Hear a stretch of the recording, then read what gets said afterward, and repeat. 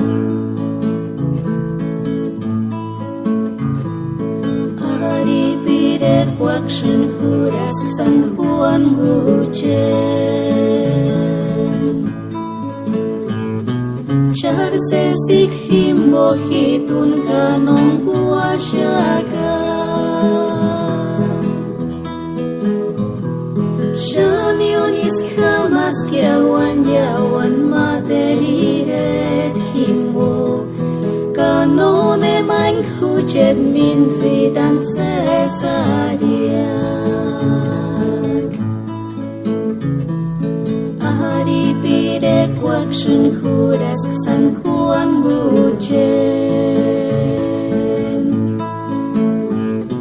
Chào sẽ xích hiểm